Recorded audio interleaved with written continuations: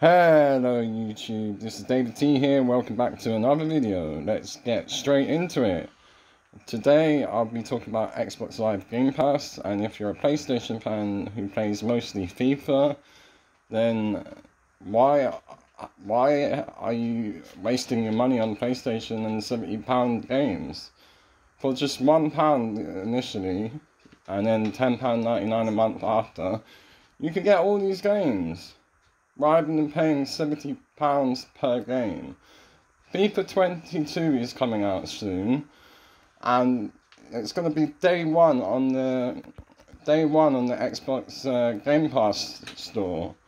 You know, guys, but you're going to have to pay £70 for FIFA. But I'm going to be paying £10.99 for FIFA day one. Who's got the better deals, guy? Uh, guys? Who's got the better deal? You know, Microsoft fans have the better deal. Look at all these games as well. It's not just FIFA, Battlefield, NHL, um, Star Wars Squadrons, Madden, NHL, Jedi Fallen Order.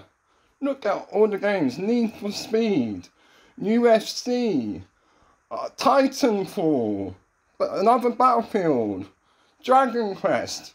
All these games for only ten ninety nine a month, yet you're playing paying seventy pounds per game.